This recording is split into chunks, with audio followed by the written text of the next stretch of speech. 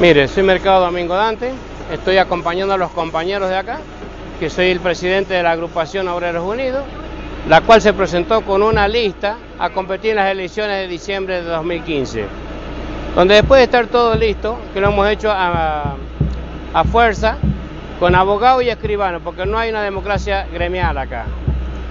Y hemos logrado presentar la lista. Después que estuvo todo presentado por ir a competir con las elecciones, los llaman de Buenos Aires, y por pedido del compañero Gerardo Martínez hicimos una unión, una unión de listas, unificar las listas. Entonces, ¿qué pasó? El día 21, después de que pasaron las elecciones, el 15 de diciembre, el día 21 de abril tuvieron que asumir los compañeros, donde vinimos a la Asunción y tenían una patota ahí adentro pagada por Marco Sosa, donde no los dejaban ingresar. Pero después logramos entrar y asumieron los compañeros. El día lunes 24 tenían que ocupar sus respectivos cargos para los cuales fueron elegidos. Tampoco los dejaron trabajar toda esa semana. Lo único que recibían agresiones de Marco Sosa hacia nuestros compañeros. El día primero de mayo lo fuimos a Buenos Aires con los compañeros. Hablamos con el secretario de Organización y Asuntos Gremiales a nivel nacional, Rubén Pronotti donde nos dio la orden, nos dijo que teníamos que empezar a trabajar porque para eso los compañeros los habían votado. Vinimos de allá de regreso, donde tenían la orden que el día jueves se presentaran a trabajar los compañeros, los dos secretarios que tenían que ir. De ahí empiezan a, pedir los, colaboradores.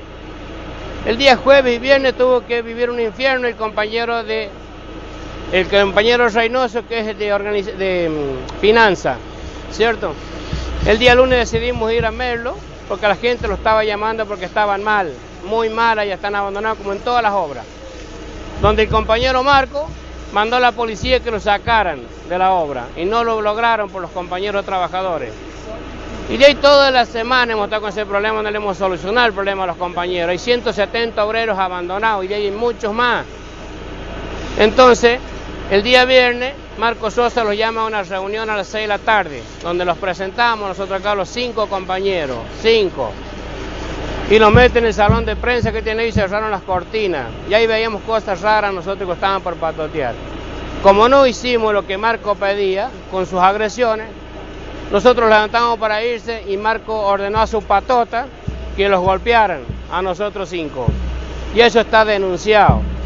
Entonces por eso venimos con los compañeros, los vienen a ayudar para que cada uno ocupe su cargo para el cual ha sido votado para que puedan cumplirse las cosas como son, que no violen el estatuto. ¿Se da cuenta? Y no vamos a aflojar y que pague lo que tienen que pagar. Y si a mí, a mi familia o en mi domicilio pasa algo, lo hago responsable a Marcos Sosa y su patota, porque son todos los delegados que tienen él ahí. Están metidos ahí adentro la patota. Y ahora los echa la policía. Es más, la policía en todas las esquinas han cortado para que los compañeros no vengan a apoyarlo. Que el secretario general de, de acá de San Luis y secretario adjunto a nivel nacional. Y es diputado del Parla Sur, que cuando él estaba el 30 de noviembre en el Parla Sur, se paraba una obra en Luján donde echaron 60 compañeros y a él no le importó. Entonces, esa clase dirigente no queremos patotarismo nosotros, queremos trabajo y trabajar en paz. Y que vengan y que hablemos de frente, no a los palos. Entonces ahora estamos quedando por patotero, como lo quieren llamar, Ponce me manda el inspector a sacar multa, después que Ponce hace trabajar a gente en negro en la construcción. Y se va a terminar, porque nosotros entramos a trabajar para todos los compañeros, en todas las obras de gente en negro. Y se va a terminar. Y si la paliza que los han pegado el viernes es un bien para todos, que vengan más palizas, pero no vamos a aflojar. Y se va a tener que ir Marcos Sosa y su patota.